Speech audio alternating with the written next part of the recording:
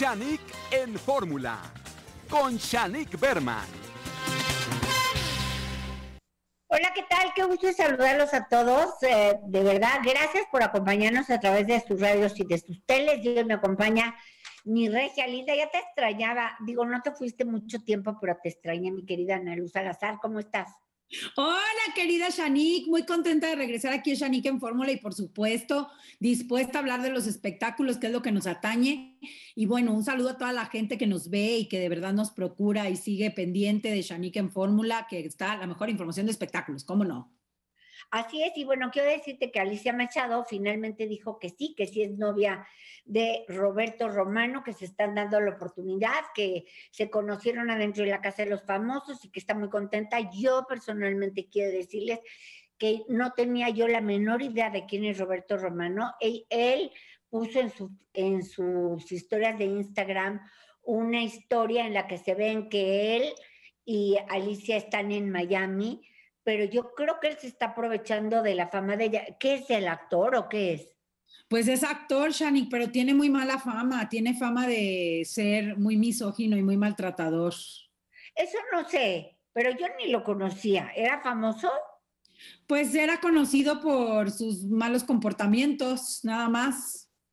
Ah, bueno, ¿qué te digo? ¿Para qué decimos nada? Pero bueno, Alicia Machado también dijo algo ¿verdad? Exactamente, también habló sobre Pablo Montero y dice estar muy decepcionada. Mira, vamos a escucharla.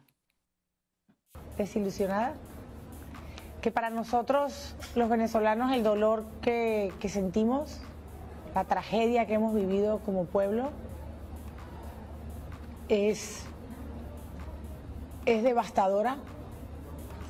Y que yo entiendo que el trabajo este, y que los artistas no deberíamos de tener una bandera política, ni mucho menos, pero sí una bandera de humanidad.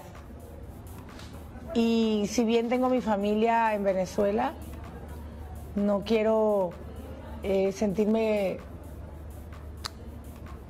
con miedo, porque he tenido miedo por mucho tiempo, por la situación que vive mi país pero creo que me siento en lo personal, si quizás Pablo no fuera mi amigo, no sentiría esto, pero siento mucha desilusión.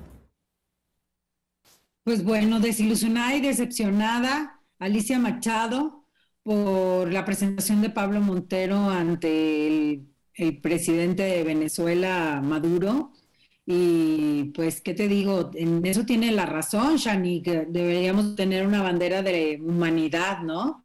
Antes que cualquier cosa, más que política.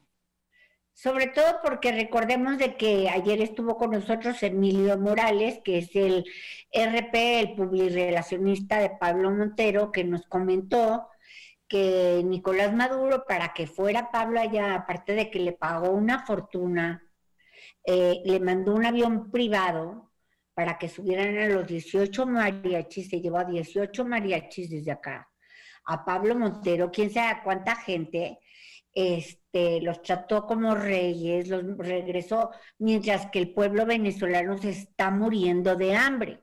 Exacto. Él para sus 59 años hizo un gasto y Pablo Montero no fue el único que fue, fueron muchos, pero mexicanos, digamos, fue Pablo Montero con todo su séquito de mariachis, con todo pagado, con una fortuna de sueldo, cuando los venezolanos comen de del camión de la basura. Ahora, aquí, Pablo Montero no tiene la culpa de lo que comen los venezolanos.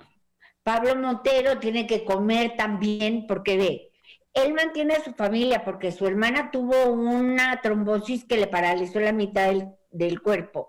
Mantiene a su mamá que cuida a su papá que le dieron un balazo en la cabeza y no se puede mover y que además está destruida después de la muerte de sus dos hijos asesinados. Eh, se mantiene a sí mismo, mantiene cuatro hijos de diferentes mujeres. O sea, tiene que trabajar y en la pandemia dejó de estar, estuvo parado mucho tiempo. Sinceramente yo tampoco lo culpo a él. Él tiene que comer y tiene que mantener a un ejército. Pero lo horrible es lo que hace Nicolás Maduro, ¿verdad? además, ¿qué crees? Pasó por cadena nacional su festejo. Ahora sí que hay un dicho que muy mexicano que dice, no cuentes el dinero delante de los pobres. Y menos si tú los hiciste pobres. Exacto, exacto. Y es, es, es indignante, ¿no?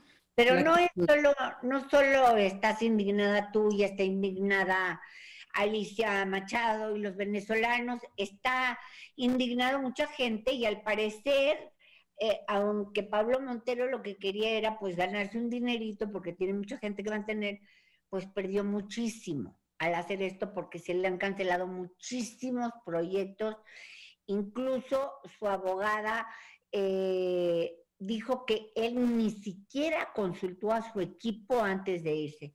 Que o sea, él les dijo sí, no consultó a ver qué repercusiones podría haber tenido.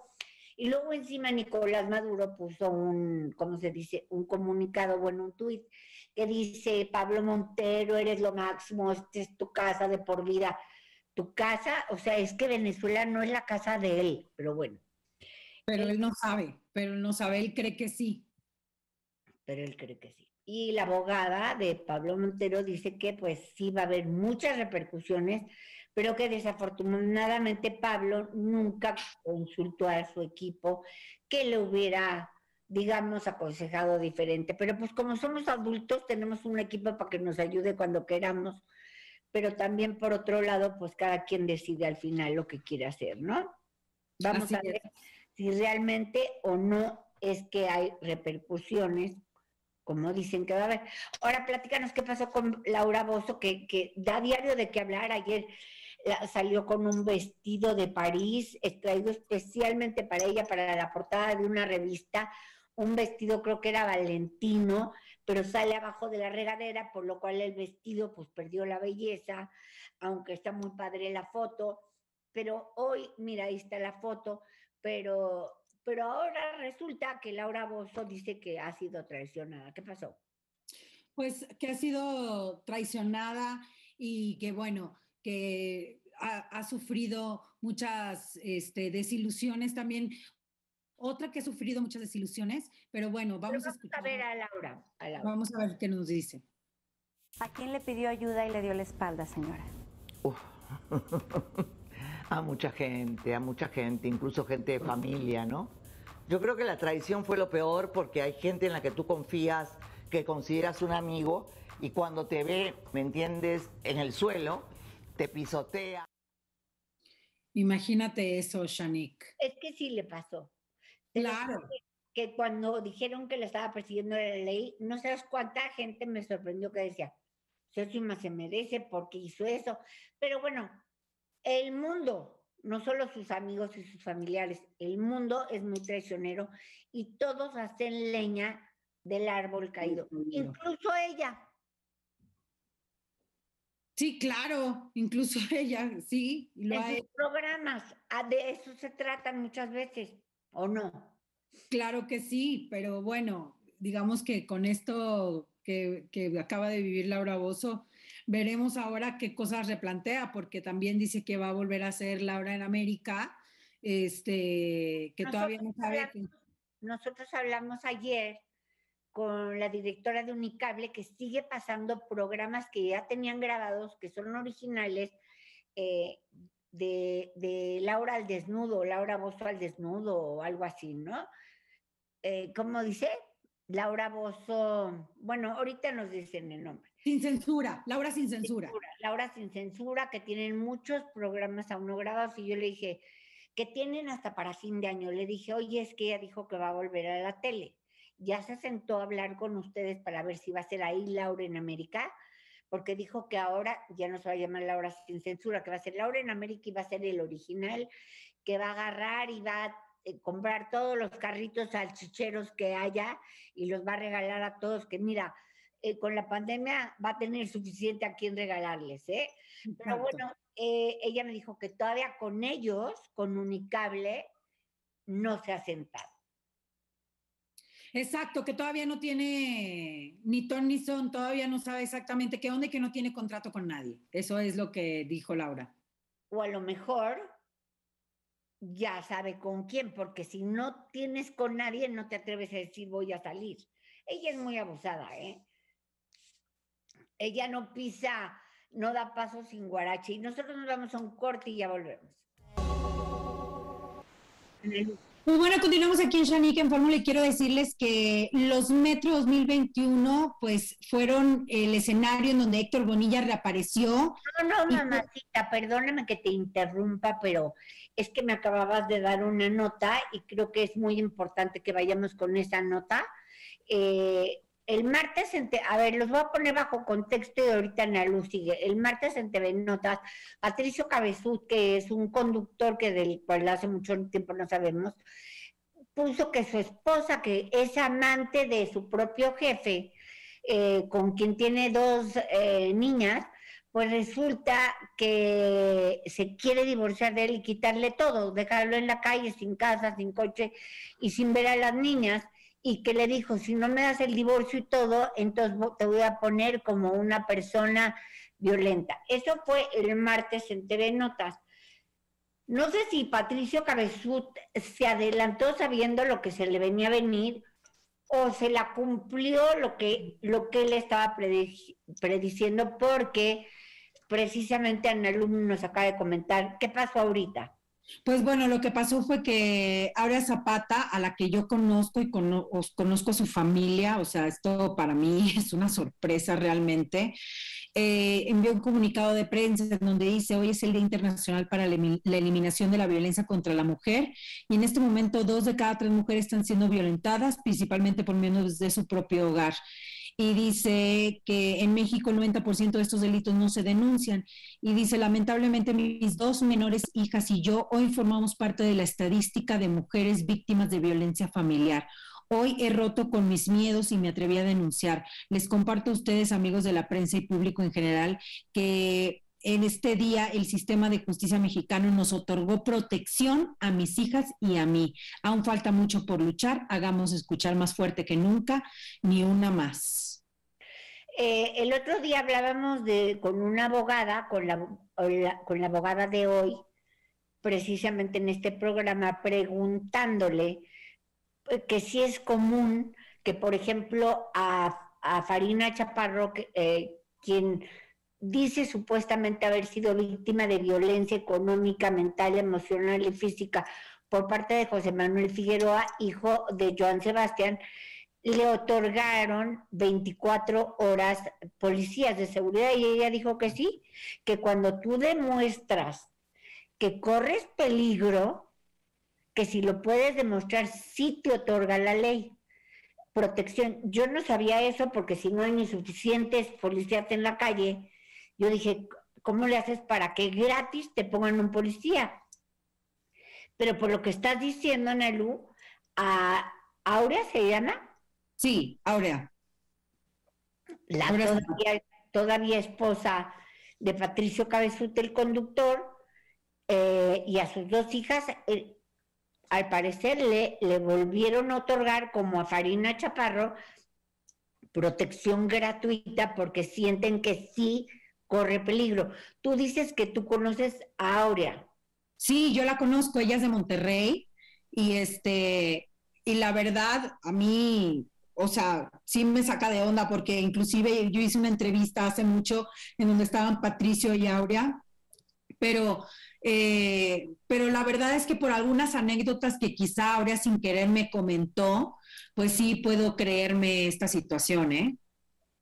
O sea, ¿sí crees que haya viol porque te digo de que no sé si curándose en salud, pero el martes Patricio Cabezú dijo yo que pensé que vivía en una familia tan preciosa, un día de la nada llega mi mujer y me dice quiero el divorcio, entonces yo me puse a escuchar sus llamadas para ver de dónde venía esto, porque yo pensé que éramos una familia feliz y al escuchar la llamada oí diciéndole a ella, a su jefe amante, eh, si no todo en el divorcio, voy a destruirle su reputación como conductor y, decir que, es violento conmigo y con las niñas.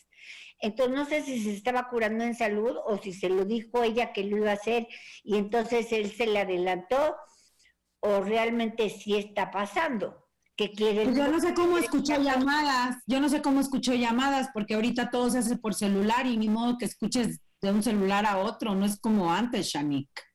A mí me parece rarísima su anécdota, ¿no? Esto y lo que sí, yo pensado. Ajá, y lo que sí te puedo yo decir. Bueno, pero ve, si tú estás hablando con alguien por celular y una persona está cerquita y se esconde, sí te oye tu conversación. Pues oye lo que tú dices, más no lo que tú, lo que te están diciendo del otro lado, que es el amante. Depende, porque luego somos tan brutos que lo ponemos en altavoz. Bueno, eso sí. él no con, él, Patricio Cabezón, no dice qué es lo que le contestó el amante. Eh, nada más dice lo que ella le dijo. A lo mejor él le estaba oyendo a ella. Pues sí, puede ser. Pero pues bueno, por lo que en mi propia experiencia y de las veces que yo participé con Aurea, que fue en este en algunas ponencias en el Senado de la República y viajamos juntas y todo. Este, no me acuerdo a dónde fuimos, pero fuimos a un estado de la República en donde también hablamos sobre pederastia clerical y sobre pederastia generalizada, que traía Josefina Vázquez Mota este tema y hasta sacó un libro. Bueno, pues a ella ella dice que a sus hijas fueron violadas por No, no, no, no, no, no, no, ella era presentadora porque fue como comunicadora porque ella es conductora y actriz de televisión. pero no, ella no hablaba de ella ser una mujer violentada. No, pero a mí me llegó a contar algunas historias con su esposo que yo volteé y yo le dije, ¿y cómo lo aguantas? ¿Como qué tipo de historias? Pues historias de que se ponía de mal humor por cualquier cosa, que si no le tenían lista la ropa, que si, o sea, vaya, no me llegó a explicar hasta qué grado se ponía de mal humor, pero eran como tantas piedritas juntas que yo sí le dije, ¿cómo te soportas eso? O sea, Yo creo que todos vivimos en la jeta total todo el día poniéndonos de jete y estando malhumorados, no Patricio Cabezú será el único, y que también cuando tú das todo, porque esta chica yo creo que no trabaja para recibir un sueldo. No, sí trabaja, es trabajadora, te lo, eso sí te lo digo porque también tiene un sueldo. Sí, ahorita no sé, pero ella en la pandemia mientras él no tenía trabajo, ella trabajaba y hacía capítulos de La Rosa de Guadalupe y todo eso, porque ella es egresada. Eso no paga nada, eso no paga. Bueno, pero algo es algo cuando pierdes tu trabajo, porque en MBS perdieron su trabajo, Shanik. Los corrieron a todos de sopetón con la pandemia. Bueno, pues solamente volvemos a lo mismo, como dicen, solo la cuchara sabe lo que hay abajo de la olla este, adentro de la olla o en el fondo de la olla y solo ellos realmente saben la verdad. Yo creo que es muy difícil eh, decir que una de las partes es culpable de todo y la otra es inocente de todo. Pues sí, o sea, obviamente un problema es de dos. Eso lo tenemos muy claro y más cuando se habla de un matrimonio. Sin embargo, pues bueno, para que ella salga a decir que es víctima de violencia familiar y ella y sus dos hijas y tengan protección por parte del Estado, pues a mí me parece... Llama la atención. Sí, sí llama la atención y me parece importante remarcarlo y más en el, el día de hoy, ¿no? Bueno, precisamente fíjate que a J Balvin lo acusaron de ser un machista misógino porque su esposa, que es modelo, salió con poquita ropa y él dijo, algo, este, por casualidad, tendrás alguna foto con ropa, que fue obvio una broma, pero entonces le dijeron machista, sexista y misógino y, y bueno, ya sabes, le dijeron hasta de lo que iba a morir. Y mientras que eso pasaba a Lin May, que le vale un sorbete lo que digan de ella, que si no sé qué, dice que prepara su vestido de novia para su boda. nada más. ¿Cuántas veces se nos ha casado Lin May, Shanik? Creo que dos, ¿eh? Con el papá de sus tres hijas que la golpeaba y con el chinito, con que era millonario. Pero a ver, vamos a oír qué dice Lin May. Preparando mi vestuario para mi boda. ¿Cómo ven? Y bueno, eh, y como dicen, el matrimonio es tan deli que vale la pena este, hacerlo muchas veces. Muchas veces. Y aparte, matrimonio y mortaja del cielo baja. Aparte. Y si te lo manda a Diosito, ¿quién le va a decir que no a Diosito? Ay, que no, no, no. Eso no podemos, no podemos negarnos. Y es lo que yo también dije, eh, pensé en lo de Pablo Montero. Quisiera yo ver cuántos artistas que sufrieron tanto en la pandemia sin dinero le dicen que no a Nicolás Maduro cuando te ofrece una fortuna, avión, llevarte a todos los mariachis y te trata como rey. ¿Cuántos le hubieran dicho que no? Porque lo están haciendo pedazos, pero a ver cuántos le hubieran dicho que no. Ni uno. Exacto, exactamente. Nos vamos a un corte y ya tenemos en la línea a mi querido Raúl Ferráez, que es el dueño de Líderes Mexicanos y cofundador de los Elliot Awards, que es eh, el equivalente de los Óscares de influencers. No se vaya, ya volvemos.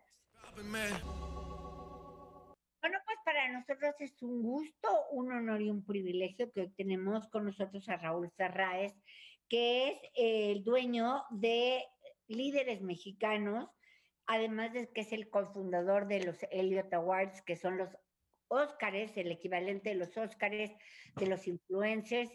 Y bueno, eh, nos tiene una noticia muy importante, Raúl Ferráez. Qué gusto, gracias por estar con nosotros. Platícanos qué está pasando con líderes, eh, con los líderes mexicanos, que, de quien tú eres el dueño, y dónde podemos ver el último programa y dónde podemos ver los pasados y de qué se trata esto. Así es, Shanik, pues gracias por recibirme en tu programa, muy contentos porque como bien sabes vamos saliendo de los Elliot Awards que fueron hace muy pocos días, eh, unas semanas, y, bueno, nuestro canal de YouTube de, de, Elliot es el canal de YouTube más visto en el mundo de habla hispana, entonces nos tiene muy contentos. Pero lo, de lo que hoy te vengo a hablar es de, de, líderes mexicanos, de la revista que además cumplimos 30 años este mes, Con la revista. Eh, y bueno, se ha convertido la revista, sin lugar a dudas, en una referencia de quién es quién en este país. La lista que hacemos todos los veranos de los 300 líderes más influyentes del país se ha convertido en una referencia, ¿no? De, de liderazgo de los hombres, de las mujeres más talentosas, más trabajadores y sobre todo más influyentes de este país. Y fíjate que desde el año pasado, que no pudimos hacer la famosa comida de los 300 que hacíamos todos los septiembre, en donde se reunían pues muchos de estos líderes a conversar, a platicar, a compartir sus visiones, decidimos hacer una estrategia digital que el año pasado fue exitosísima y por eso la decidimos repetir en este 2021, que es invitar a una tercera parte de la lista de los 300, a más de 100 líderes de la lista de los 300, a mandar un mensaje a la nación, a compartir su visión, a compartir lo que están pensando. Este año le hemos llamado la iniciativa Proyecto de Nación, porque cada uno de estos líderes que están participando eh, en Espacio 301 están proponiendo algo específicamente, Shanik, no solo dando un comentario al aire, sino proponiendo algo que ellos sienten que necesitamos como país. Y yo creo que es bien valioso escucharlo porque finalmente los líderes, los hombres, las mujeres que dirigen diferentes organizaciones empresariales, gobiernos, eh, líderes también de la cultura, del arte, el entretenimiento, tienen una visión bien importante de lo que México necesita. ¿Nos podrías dar, por ejemplo, un ejemplo en tus palabras de lo que algún líder mexicano sobresaliente ha, ha dicho eh, precisamente en líderes mexicanos? Pues mira, hay varios temas que se han vuelto transversales. Eh, muchas de las propuestas tienen que ver con esos temas. Eh, uno de los más importantes es un llamado a la unidad. Hay una sensación de muchos de los líderes eh, de que se está generando una polarización en el país innecesaria y finalmente llaman a la unidad porque tú, tú lo sabes, Shanik, si no caminamos todos para el mismo lugar, no vamos a llegar al mismo lado. Y lo que está pasando ahorita es que cada quien está yendo para diferentes lugares y eso nos hace mucho daño como país. Otro de los temas que, que son transversales. Bueno, pero ¿qué no decía Julio César? Divide y vencerás. Pues sí, es parte de la filosofía que se ha seguido en los últimos años, ¿no? Otra parte es la defensa de nuestra democracia, ¿no? Yo creo que construir la, las instituciones democráticas de este país ha sido de las cosas más importantes que hemos tenido y hay muchos líderes que están mandando mensajes de defender y de cuidar la democracia. Eh, en el tema de los empresarios, Shanik, por ejemplo, lo que más preocupa es el tema de la falta de inversión que se está viendo en los últimos años en México y que tiene que ver mucho pues con la falta de certeza jurídica, ¿no? Con la falta de Estado de Derecho que hay en el país y que finalmente pues si no hay certeza jurídica y Estado de Derecho, pues es muy difícil que lleguen esas inversiones y todos tienen claro que la única forma, y esto quiero repetirlo, la única forma de generar empleos es invirtiendo. Y eso es bien importante para un país como México. Y finalmente, dos... Lo malo de todo esto, digo que a mí Raúl Ferráez, eh, dueño de líderes mexicanos, que me, encanta que, que, esto ocurra, es que a, a quien no le importa lo que digan los líderes mexicanos, es a quien debería de importarle. Pues sí, sí, un poco sí. La verdad es que hay mucha descalificación y yo creo que hay poca apertura, ¿no? Porque en un país como este, el diálogo creo que tiene que ser pieza fundamental para lograr acuerdos que nos hagan justamente avanzar en una, en una, en una dirección pues en la que un poco todos estemos de acuerdo y convencidos, porque si no, pues no vamos a llegar a ningún lado, ¿no? Hay dos temas finalmente, Shanik, que son, no son eh, algo que, que, sea nuevo, eh, pero hay una preocupación profunda en que no parece que tampoco se le esté poniendo atención, que es el tema de, la educación, ¿no? Seguimos maleducando a nuestros niños, eh, llevamos dos años sin escuelas, eh, públicas, lo cual es gravísimo. Eh, entonces, el tema de la educación sigue siendo una preocupación muy grande entre todos los líderes y el tema obviamente de la seguridad, que tampoco se ve que es un programa añejo. Ya sé que llevamos 10, 15, 20 años hablando de la seguridad en este país, pero pues no le encontramos eh, la forma, ¿no? Y, no, no parece que hay una, una, y si no hay seguridad, pues tampoco hay posibilidades de crecimiento económico, ¿no? Ahora, entre estos 100 líderes mexicanos, entre estos líderes mexicanos, eh, ¿de quiénes tienes, dinos algunos nombres, quiénes se han manifestado? Sí, pues mira, tenemos un poco de todo. Por ejemplo, están desde rectores como el rector de la UNAM, como Graue, como el rector de la, de la el rector de la, de la Universidad Panamericana, del ITAM. Eh, tenemos varios gobernadores, como el gobernador de Yucatán. Tenemos varios secretarios de Estado, eh, como eh, Tatiana Cloutier, la secretaria de Comercio. Tenemos el presidente del Senado, a María Sánchez Cordero, al coordinador del Senado de Morena, a Ricardo Monreal. tenemos a por ejemplo, a Lorenzo. ¿A poco, ¿A poco Ricardo Monreal se queja de, del gobierno? No, no, no, porque el programa no es un programa de queja, que es un programa de propuestas. Cada quien está haciendo, está compartiendo con la audiencia su visión de país, lo que debe de pasar. Obviamente muchas de esas visiones tal vez no van alineadas con lo que esta administración específicamente está haciendo, pero para nada es un programa de crítica, es un programa de propuestas propositivo de qué tipo de país ven cada uno de estos líderes. Tenemos, por ejemplo, a, a Lizárraga de la banda El Recodo dando una opinión, o a Guillermo Arriaga dando otra opinión, o a Paola Espinosa, en fin, tenemos de todo, de personalidades de la cultura, de la ciencia, la, del entretenimiento, y eso es lo que lo hace realmente muy diverso y muy interesante. Y obviamente muchísimos empresarios también, el presidente de Walmart México, el presidente de Chedrago, el presidente de, de, don Valentín Díez Morodo, por ejemplo. En fin, tenemos muchos empresarios muy importantes participando. ¿Y dónde, eh, dónde podemos escuchar estas opiniones? Están en nuestro canal de YouTube, en Helio Channel, eh, perdón, en, eh, en, en Líderes Mexicanos mexicanos.com eh, en, nuestro website y en el canal de YouTube de Líderes Mexicanos. Líderes Mexicanos y son cuatro programas, ¿verdad? Son cuatro programas, ya están tres ahí al aire, los pueden ver en cualquier momento y el lunes cerramos con el cuarto.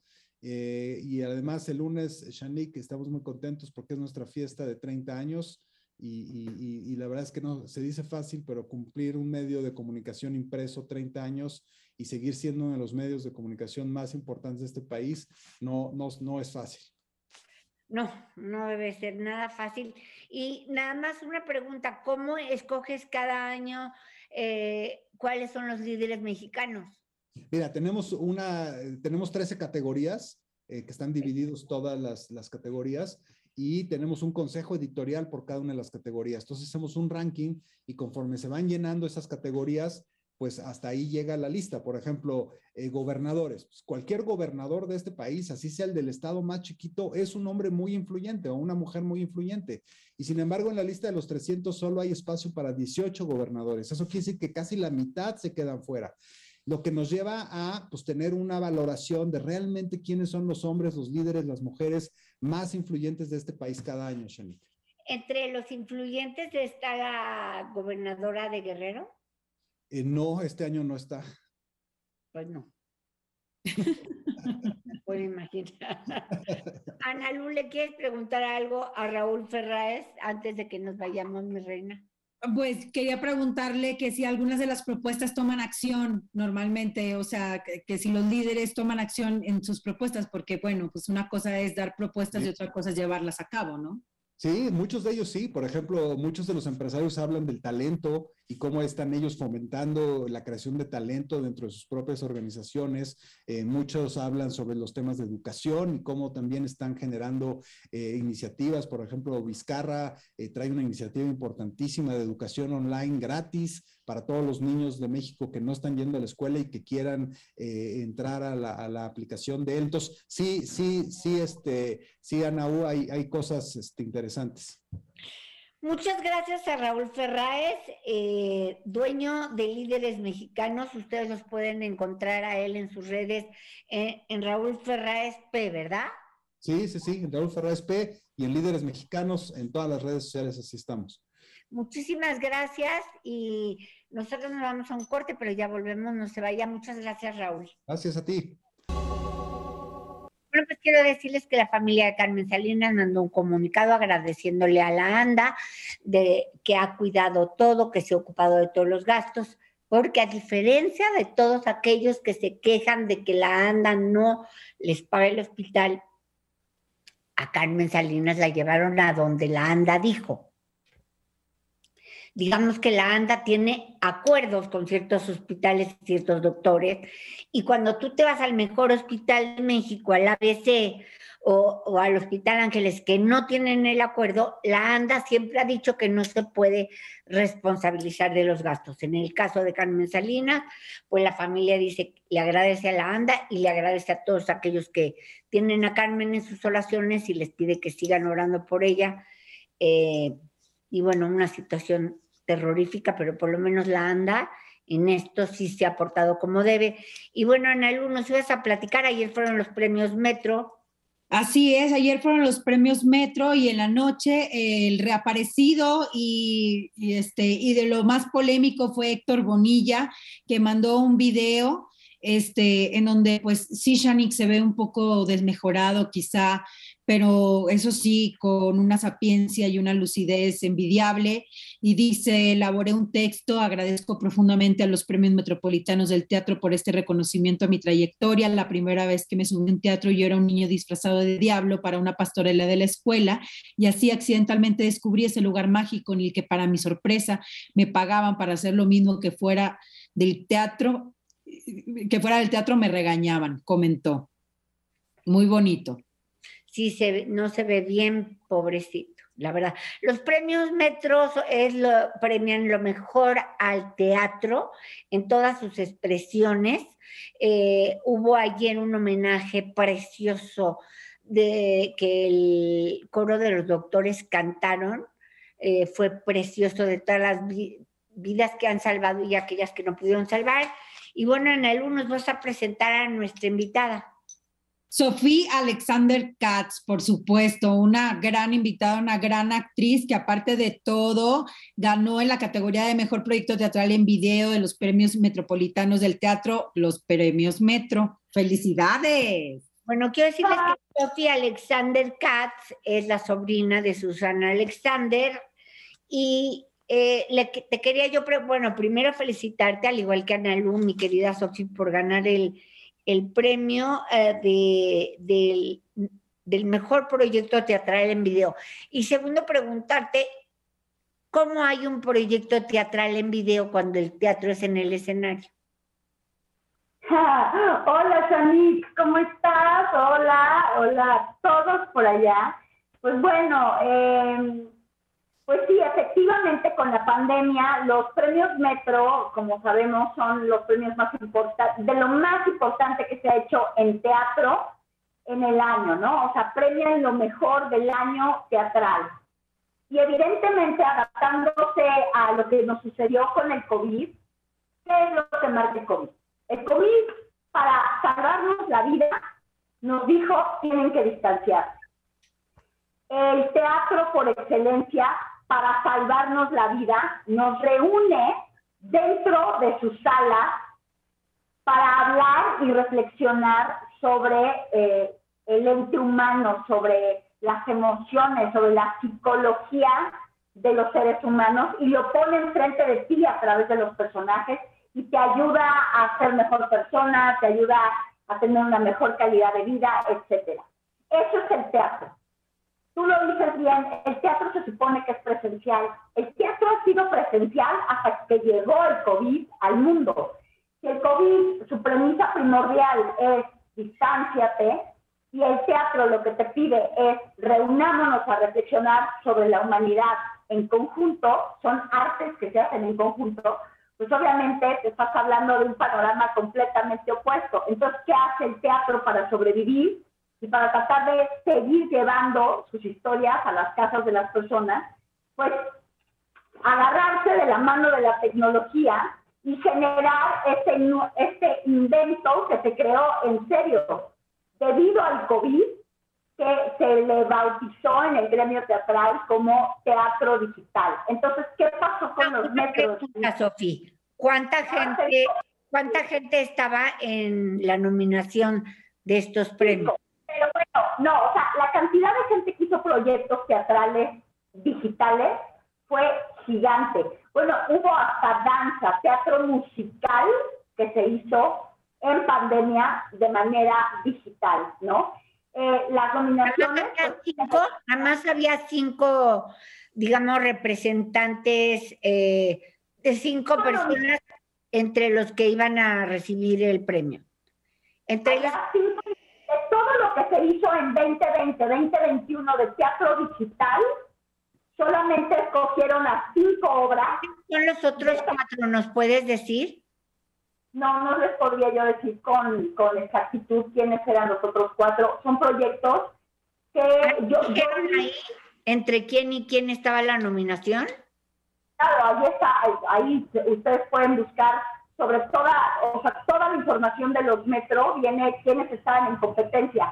Yo te voy a decir, hay una razón muy específica por la cual yo no veo nunca con quién estoy en competencia en los premios, porque me pongo muy nerviosa porque siempre los proyectos con los que estoy en competencia son proyectos de altísima calidad.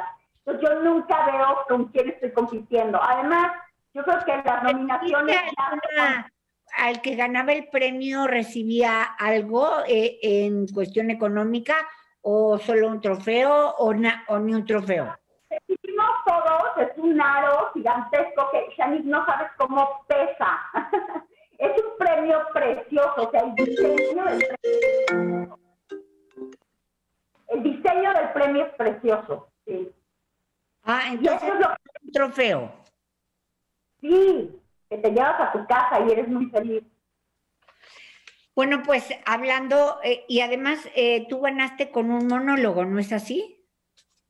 Así es, y es un monólogo que se llama Coordenadas Sutiles y que pueden ver en la plataforma de teatrix.com, porque eso es lo padre, que luego nominan cosas que el público no puede ver. Bueno, aquí se nomina algo que se nomina y bueno, tuvimos la suerte de, ser premiados. Em, un monólogo que está escrito y dirigido por Diego del Río, este gran director mexicano, y pueden verlo en la plataforma de teatrix.com. Se meten ahí, teatrix.com, pagan 159 pesos, ponen coordenadas sutiles, y ¿saben qué es lo maravilloso de esto, Shanice? Que tú pagas esos 159 pesos en la plataforma, pero no solo puedes ver mi monólogo, puedes ver toda la oferta de la plataforma por un mes. Entonces realmente es muy atractivo.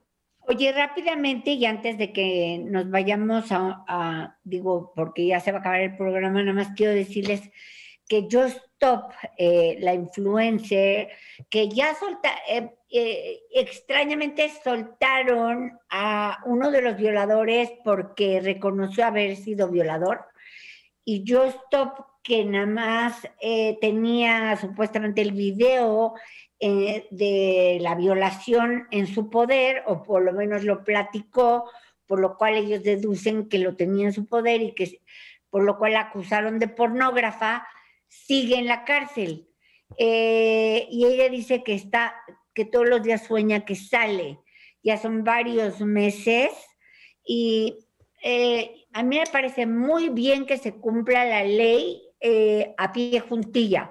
Lo único que me llama la atención, y no sé qué digan ustedes dos, Analú y, y Sofi, pero me llama la atención que dicen que México es el país que más ve pornografía en el mundo, por lo cual tienen pornografía en sus teléfonos, y de ese país que dicen que el 50% ve pornografía en México, pues nada más le están haciendo justicia y metiendo a la cárcel a Just Stop.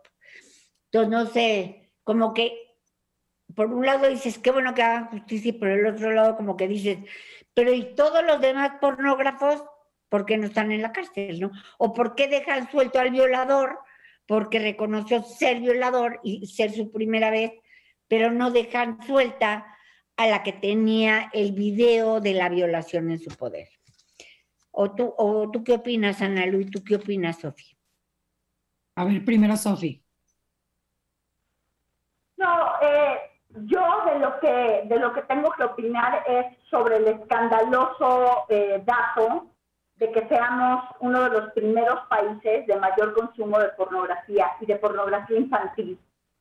Y eso es tristísimo. Pero nada más hay una persona era que no queremos representar es la de pornografía infantil y la de abuso infantil. Y mira, Shanik, esto no solo pasa en, en, el, en la era digital, pasa presencial en las escuelas de México y hay un gran reportaje que se hizo reciente porque las autoridades no pelan a las asociaciones, perdón, asociaciones civiles que ya descubrieron una red de acoso y, y bueno, violación, desgraciadamente, a niños en las escuelas privadas y públicas de este país.